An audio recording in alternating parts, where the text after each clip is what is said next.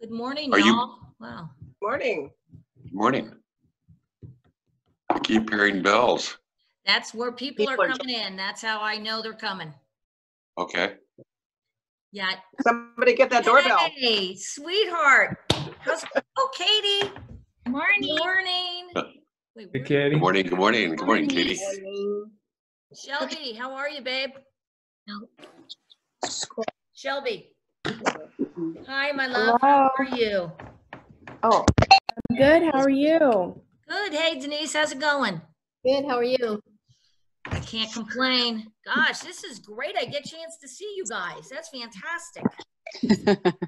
Okay. Welcome to Morning Coffee with Mary. I would. welcome. I would. Isn't that would how it was advertised? Morning Coffee with Mary. Sounds good to me. I know. That'll be the next series. There you go. Hey, Shelby, are you still studying?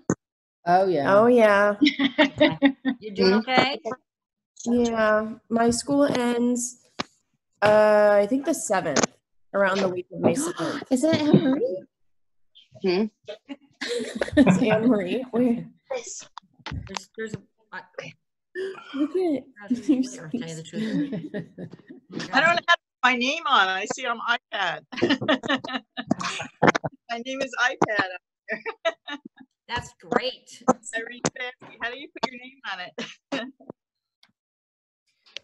Well, this is getting, I get a chance to see people all over the country. This is fantastic. Katie, do you see that uh, Anne Von Geer's in here? Yeah, I saw her name. Where is she? I haven't seen her face. I've just seen the face. Yeah, I did see. Now it's gone. I did see. Oh, nuts. I need to raise this up. Hmm. Uh, Pat, Oops. Good morning. Morning, Pat.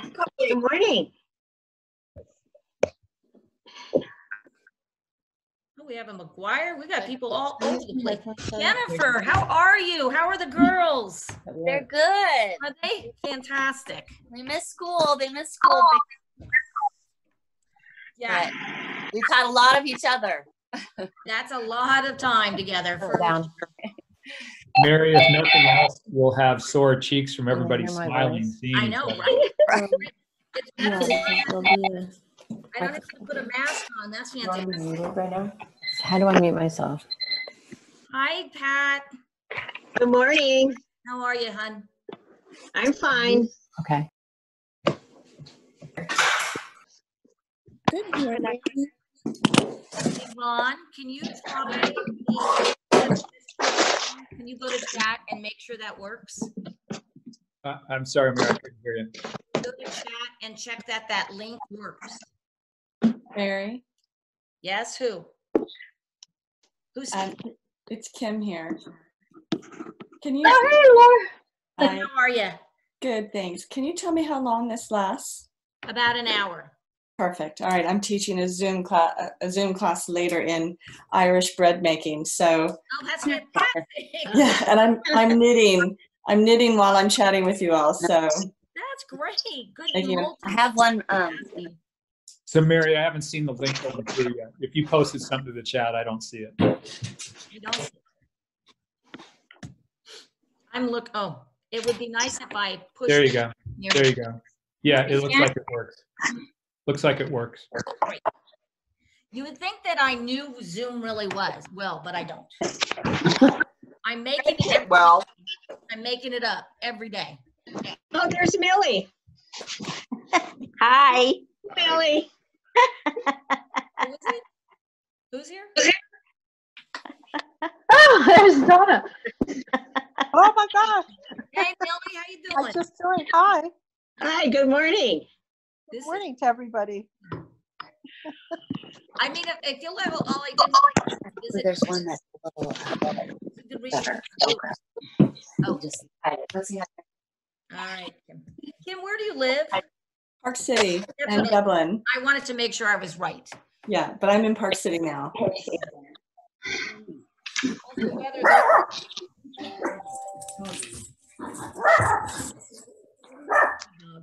The weather there- I do not have a dog this time because I'm in my office. Hey, Colin.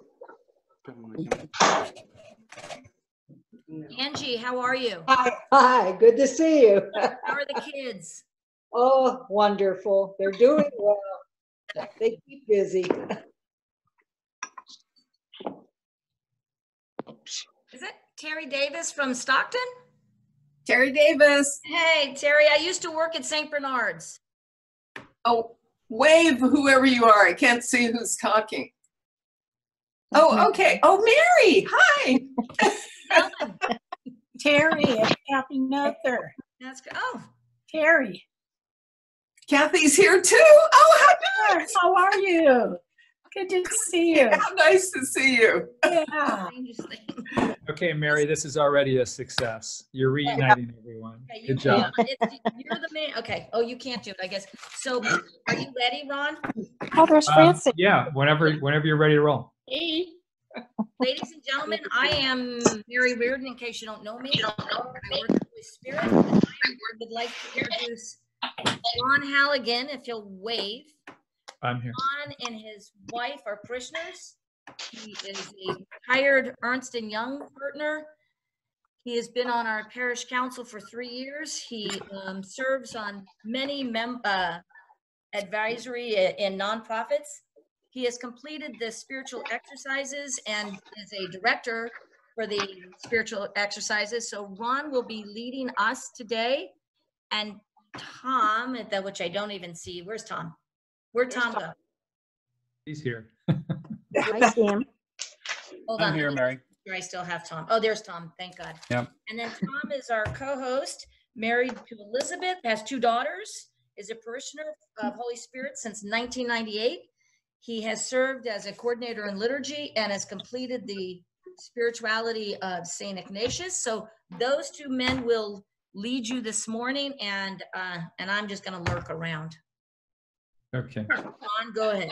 All right, Mary, Mary, you're muting everybody now? Are you going to mute everybody now? I am right now. Can I ask a question? Yes. Um, I, I had a hard time finding you. So we're supposed to go to the Holy Spirit site and then click. I went straight to Zoom. Yeah. Yeah, we'll take, we'll take care of some of the logistics, especially as we sign off later today. Okay, okay. There. Oh, except for, let me undo. Mary, and good morning, and uh, thank you all for joining us today. Uh, I'm really excited to walk you through our plans for these sessions, but um, why don't we first start with a prayer? In the name of the Father, and the Son, and the Holy Spirit, amen. Heavenly Father, we, we thank you for the gift of this day and for the opportunity to gather this morning. Let us set our eyes, our ears, and our hearts directly on you, Lord. Give us the courage to pursue new beginnings and the more intimate relationships you desire with each and every one of us. May we also reflect your peace and hope to a world that so desperately needs your presence and healing right now. In Jesus' name we pray. Amen. Good morning. Oh. Okay, so um, you know what I'd like to do is talk just a little bit about this reignite with the saints in general to let you know what these sessions are going to be about, and then I'll cover a little more specifically what we're going to go through, um, what we'll cover today. So um, a question has been asked often: Where where did this reignite with the saints come from, and what is this series all about? And uh, plain and simply, Reignite with the Saints comes from the feedback that we've received from many of you and others.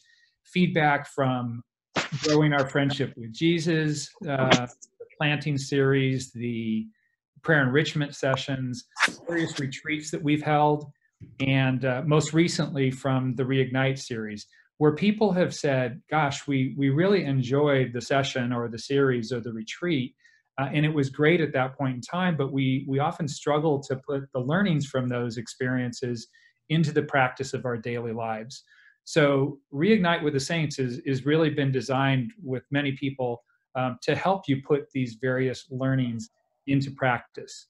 Um, we'll cover there'll be five sessions on different saints, and each of them will strive to connect with um, the themes, if you will, from the reignite series and um, to the lives and messages from one or more of the saints from Matthew Kelly's book, Rediscover the Saints, which each of us, all of the Holy Spirit parishioners, received as a gift back at Christmas time. So the thought is by connecting these reignite teachings and seeing how these saints actually lived these teachings, it um, it just might inspire us and enable us to do the same. So then, um, how is this? How is reignite with the saints going to be different from reignite? Well, I guess there's a, a couple of major differences that I see. First of all, if you tuned in expecting to see Father Brendan delivering the series, um, we're sorry to disappoint you, but it will be it'll be um, different Holy Spirit parishioners um, who've worked together to present these these saints in the series to you. And I guess the second difference is, whereas with Reignite, Father Brendan, I mean, in his amazing way, delivered these six awesome presentations. Um, with Reignite with the Saints, it's going to be each and every one of you that are going to make the difference for the series. With Reignite, both the sessions and the follow on facilitated sessions were silent. We were left to our own private reflections. And we'll do some of that today. But I think the real benefit that we've heard from people time and time again is what they most enjoy is sharing their faith, sharing their experiences, sharing their reflections with other people. And later on, after we do our private reflections, Mary's going to put each of you into a very small chat room with maybe three other, I think it's going to be three people in total in each of the sessions, where you'll be given the opportunity to share your reflections, your thoughts, your feelings with other with other folks and uh, then we'll bring you back together to share with the larger group to the extent you're comfortable doing so um, i'd ask you a couple of things. Please be patient with the technology. This is new for many of us. Um, these private chat rooms that we're setting up uh, is the first time we'll be doing that. And then we're going to be incorporating uh, videos in each of these sessions uh, little videos from uh, dynamic catholic and the recently concluded best lent a best Lent ever series. So, um, what you're going to need for this session, honestly, if you have a pen and a piece of paper, or if you've downloaded the uh, materials from the session, that's all you really need. Um, for future sessions, if you had a Bible handy, that wouldn't hurt, but it's definitely not needed today, so don't go running to, to grab that. And preferably, you will have read the little chapter from Rediscover the Saints um, before you before the session start. If you have, great. If you haven't, uh, no worries.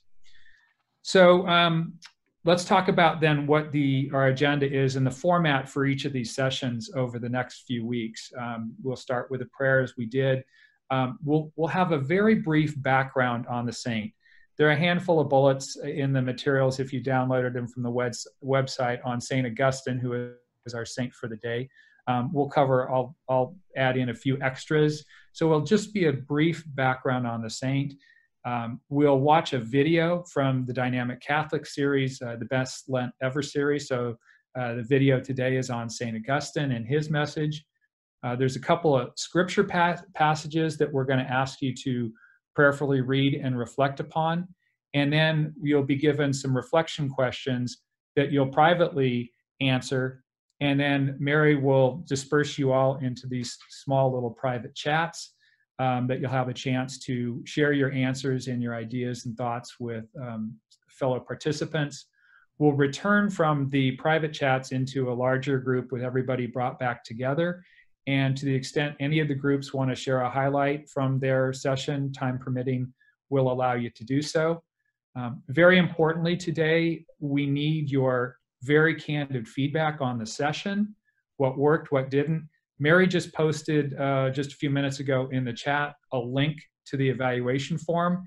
If you want to, if you want to click on that, so you have it available to the extent anything comes to mind as we're going through this, um, you know, just jot your thoughts down. But and we'll use that feedback to guide the rest of the sessions. So those evaluations are important. We'll have a couple of reminders at the end, and we'll have a closing prayer that. Uh, if any of you have any courage left after the private faith sharing, we would love it if one of you would volunteer to do a closing prayer today. So, um, with that, let's let's get into uh, let's get into the session today. And as I as I mentioned, the idea is to connect the takeaways from the reignite from the reignite sessions um, into the reignite with the saint sessions. And as we talked amongst ourselves, the group that kind of put this together, the two key takeaways from Reignite session number one was this notion of a of a reset, a kind of a restart or a new beginning.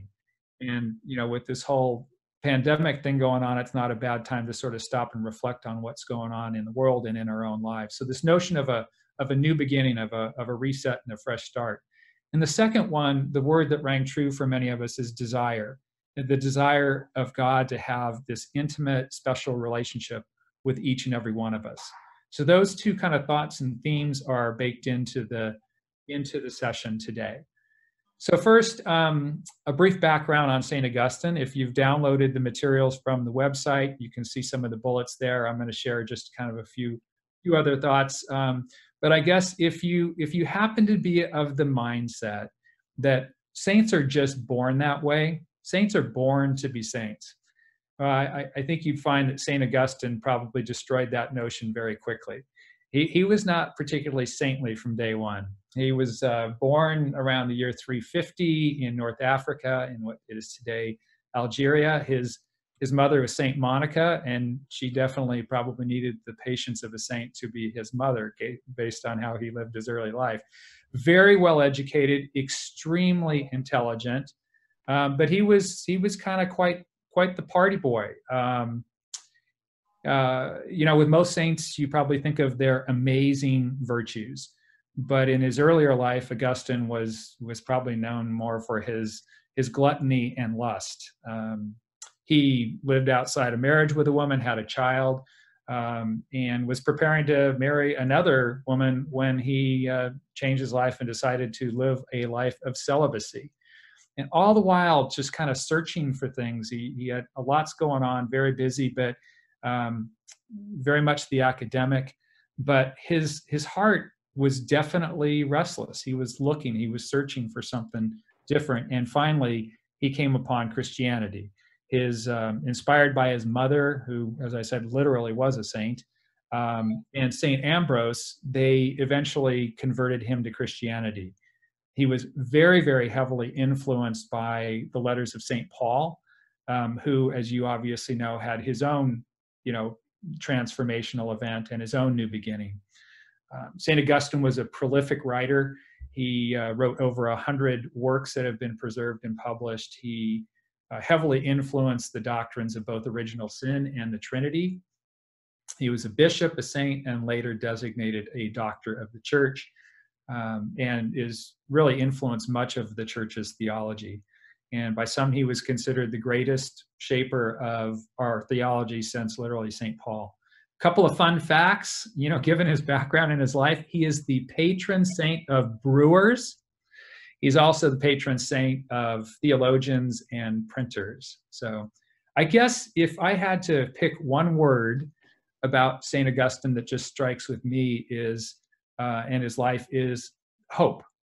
That um, there's hope for all of us. If he could turn his life around as he did, uh, there's hope for all of us uh, who may be in entirely different places than he was. So the word that I kind of take away is hope. And with that, uh, Tom, I think you're going to queue up our video, or Mary, you're going to queue up the video. I think I'll introduce this briefly. It's from Dynamic Catholic, um, uh, the Best Lent Ever series, and this one is specifically, it's the first one of the series, and it's on St. Augustine. So someone can run that. Away we go.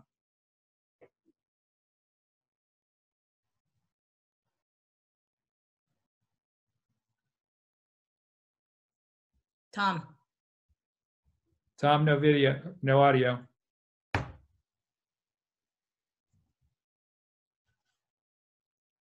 Tom? I don't even see him.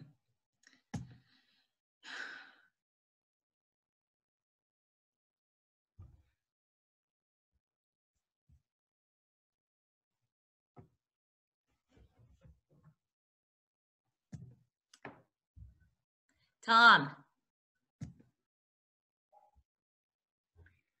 That's why we said patience with the technology.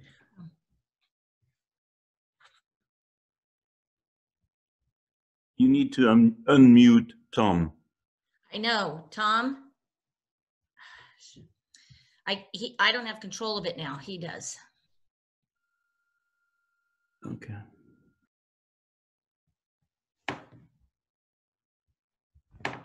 Hey, Tom, can you unshare?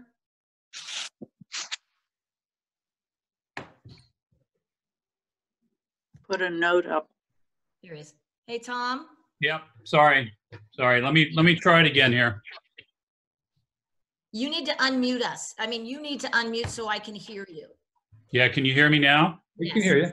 We can Yeah. hear Okay, let me, let me try it again. Sorry about that. All right. That's why we ask for patience with the technology. Can you see the screen? We can see the screen, just can't hear it. Okay, let's, let's try it again. There we go. All right. Hi, I'm Matthew Kelly, and welcome to Best Lent Ever. Our God is a God of new beginnings, a God of fresh starts. And I love that because we all need a new beginning from time to time. We all need a, a fresh start from time to time. And, and it's, a, it's a source of great hope for us. As we make our journey through Lent, and as we explore the lives of these different saints and the lessons of these different saints, one of the things we're going to discover is that God gave them all a new beginning. God gave them all a fresh start. In fact, in many cases, God gave them many of those things. And we begin today with Augustine, who was a great sinner. I mean, Augustine was a massive sinner. We, we talk about him today as a great saint, right? Oscar Wilde said, Every saint has a past and every sinner has a future. And Augustine had a massive future. And it's important for us to recognize that because there's hope in that. I look at Augustine, I think, wow, if God can do that with him, he can do something with me. And the first question I pose in the book is what do you believe about your past that is keeping you from your future? What do you believe about your past that's keeping you from your future? Because we all have self limiting beliefs. We all have self limiting beliefs that are not from God, that are not holy, that are not humble. Uh, they stop us from being all God created us to be. They stop us from becoming a better version of ourselves today. And in those self limiting beliefs, we experience what Augustine describes in his most famous quote this, this restlessness. Augustine wrote, Our hearts are restless, O Lord, until they rest in you. And so, as we begin this journey together, I encourage you to find a quiet place today for a few moments and just rest with God. Just be with God. Doesn't matter what you say, just sit and be with God. Because one of the great, great benefits of our spirituality is this restfulness. We live in a restless world, you know, and God invites us to peace, to calm, to quiet. One of the lessons I really want us to drill down on over the next 40 days is how do we learn to rest with God? How do we learn to rest in God? Because from that will come an explosion of goodness in ourselves, in our lives, and that we can take out to the world.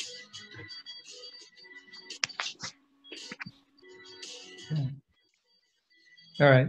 Thanks, Tom, for getting that squared away. Yeah. Um, so listen, I just ask you each take out your journal, take out a pen, piece of paper, just maybe jot down one thing that struck you from that video. Okay, any one thought or reflection or moment that may have just struck you. Just take a minute in private and uh, jot it down in your journal or with whatever you have to write with uh, this morning. We'll be right back to you.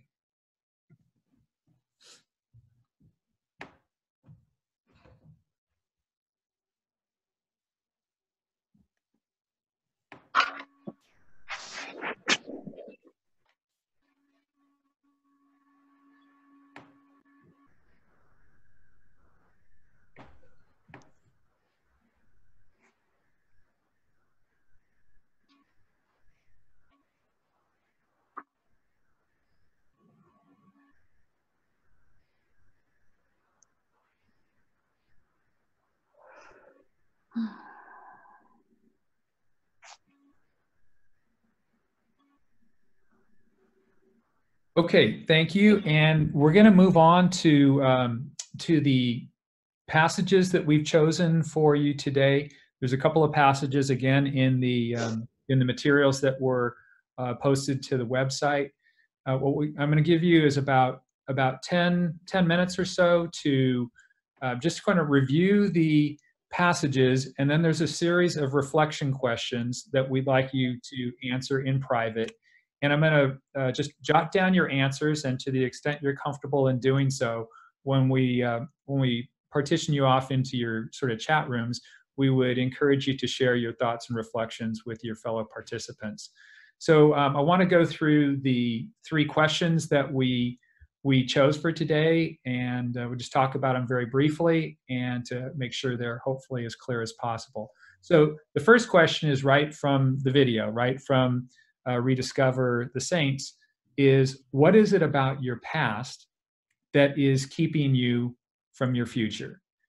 What is it about your past that is keeping you from your future? Maybe there's something you're holding on to. Maybe uh, from Father Brendan's session, maybe there's that room in your house that you're just not quite ready to give to God. Maybe it's a fear of change. Uh, maybe it's a doubt, or um, I think Matthew, Matthew Kelly referred to it as a, a self limiting belief about yourself that's holding you back. But what is it about your past that is keeping you from your future? Whatever that may be, whatever that is, try to name it and jot it down. That is a very important first step. The second one is um, just consider your relationship with God. What, what is your relationship with God like? And just try to describe it in a few words, whatever words come to mind. Don't you don't have to overthink it. Just where are you at today with your relationship with God, and explain it in as few words as as you possibly can. The third question then is if you desire, we talked about desire, God desiring this intimate relationship with each and every one of us. If you have a desire for a closer relationship with God, what uh, what two or three practical steps would you like to take? Could you take to move your relationship with God in the right direction? What just a, two or three practical steps that you could take uh, to move that relationship in the right direction. And the sort of the sub part of that question is, how will you follow through on those steps? You know, we, we may have jotted down steps two or three weeks ago from Father Brendan sessions that might have been similar to these questions. What have we done with those since two or three weeks ago? Right. So how will you follow through to actually take these steps? And what help might you need? Do you need help from someone dear to you, from the parish community? You know what steps might you take and how will you follow through to make sure you actually take them and do you need any help? Now if you're in a situation where you feel like you have you already have this great amazing relationship with god maybe your question's a little bit different. It might be jot down two or three things that are helping you with this amazing relationship with god. Why is your relationship so great with god? And then ask yourself how can i help others get to the same place right? So either if you desire a closer relationship with God, what could you do to move that in the right direction? And if you have this amazing relationship, what what two or three things could you share with others today or subsequent to today to uh, kind of share that magic and help others uh, establish that same relationship? So uh, Mary, are, we ready to? Uh, that's kind of it. You'll have uh, just suggested time here. Um, why don't you take about uh, 10 minutes to kind of uh, uh, to review the passages and to draw, jot down the answers to the re- reflection questions. We'll come back and Mary, in about 10, 12 minutes, Mary will put you off into your sub chat rooms, but we will we will talk to you before we do that. So take about 10 to 12 minutes to reflect on the passages and answer these questions.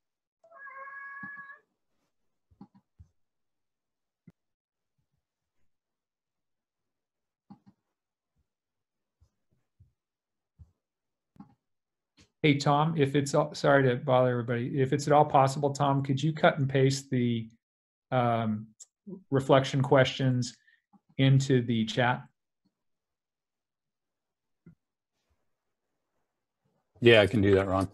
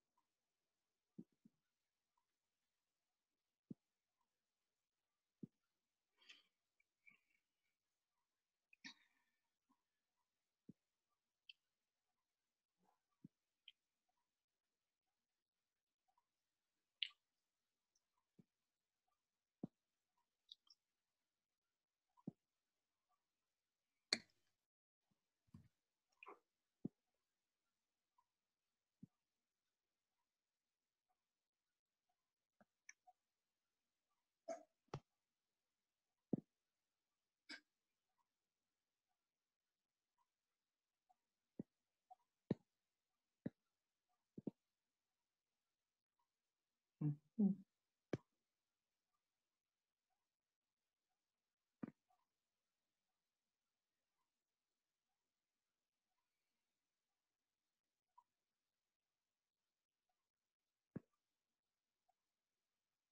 Okay, a couple more minutes and then we'll bring the group back. Thank you.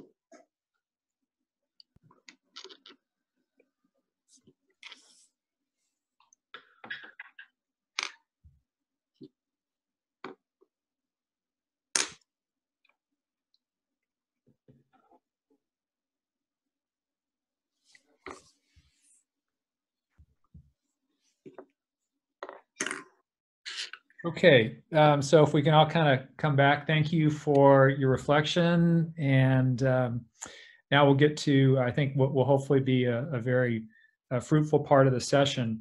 Um, and, and Mary will soon break you up into uh, private chat rooms. Uh, want to make a couple things really clear. The, the session to date has been recorded uh, for people who uh, may not be able to uh, attend either this morning session or this evening session. The, none of the chat will be recorded at all. That's definitely not being recorded. So you're free to speak as openly and candidly with your fellow participants as, as you can. We're going to have about 10 minutes to do this particular uh, portion of the session. So there's going to be three people, I think, in each of the rooms. So if you could each take two to three minutes to share your um, your thoughts and ideas from the reflections with your fellow participants. Um, if someone can kindly keep a little bit of an eye on the time, because if you were in my chat room, I just chat and chat and chat, and nobody else gets a turn. So make sure everybody gets a chance to share. We'll give you a heads up at about two minutes left to go, two or three minutes. Mary will try to come on and just let everybody know in the chat rooms that we're bringing you back. And um, she will bring everybody back at the same time. So we apologize if someone gets cut off, but that's just the way the technology works. We can't just gradually let you come back in. She'll bring everybody back to the main chat room. So Mary, anything else that people need to know? No, I don't think so. I'm going to just go ahead and pause recording right now and then I will